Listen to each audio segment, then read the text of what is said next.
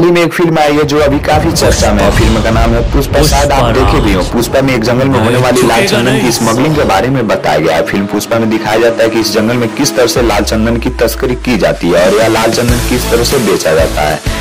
इस फ़िल्म की कहानी एक्शन भले ही मज़ेदार लगी हो लेकिन क्या आप जानते हैं इस जंगल के और भी ऐसे राज हैं जो आपको वाकई हैरान कर देने वाले हैं? वीडियो शुरू करने से पहले मेरी आपसे एक रिक्वेस्ट है। अगर आप मेरे चैनल पर नए हैं तो चैनल को सब्सक्राइब करके बेल आइकन को दबा लीजिए। अगर वीडियो पसंद आए तो अपने दोस्तों में शेयर ज़रूर करिए। तो आज हम बताते हैं इस जंगल की क्या खास बात है और इस चंदन में ऐसी क्या खास है कि इसे लेकर इतना विवाद है। चंदन इतनी कीमती की इसकी सुरक्षा के लिए कई कमांडो तैयार किए गए तो आइए जानते हैं इससे जुड़ी हर एक बात ताकि आपको भी भारत के इस अनोखे खजाने के बारे में मालूम हो सके। इस जंगल का नाम है शेषाचलम जंगल। यह जंगल शेषाचलम पहाड़ियों के पाँच लाख हेक्टेयर से अधिक क्षेत्र में फैला हुआ है। इस जंगल को लाल चंदन की वजह से ही जाना जाता है और लाल चंदन सिर्फ़ आंध्र प्रदेश राज्य के कटप्पा, चित्तूर, नेल्लोर के जिलों में पाए जाते हैं। इस लाल चंदन की अधिक मांग होने की वजह से तस्करों की इस जंगल पर खास निगाह होती है। अधिक तस्करी की वजह से इसकी कटाई पर बैन लगा दिया गया है। इसे आंध्र प्रदेश के बाहर ले जाना गैर कानूनी है। इस चंदन की पेड़ों की सुरक्षा स्पेशल टास्क फोर्स के जवान करती है। इंडिया टुडे मैगजीन में छपी रिपोर्ट के अनुसार कुछ साल पहले लाल चंदन से करीब 1200 प्रतिशत का लाभ होने की वजह से तस्कर अपनी जान जोखिम में डालकर हर साल 2000 टन लाल चंदन चेन्नई, मुंबई, तोती तोतीकोरिन कोलकाता, बंदरगाहों से और नेपाल, तिब्बत के रास्ते चीन के प्रमुख बाज़ार तक पहुँचाते थे। वे लकड़ी, एस्बेस्टस की चादरों, सरसों की खली, नारियल के रेसे और नमक के बीच छिपाकर एक स्थान से दूसरे स्थान पर ले जाते थे। साल 2015 में इन्हें रोकने के लिए कई तस्कर मुठभेड़ में मारे गए थे। अब तस्करी करते समय पकड़े जाने पर ग्यारह साल की जेल की सजा का प्रावधान भी है।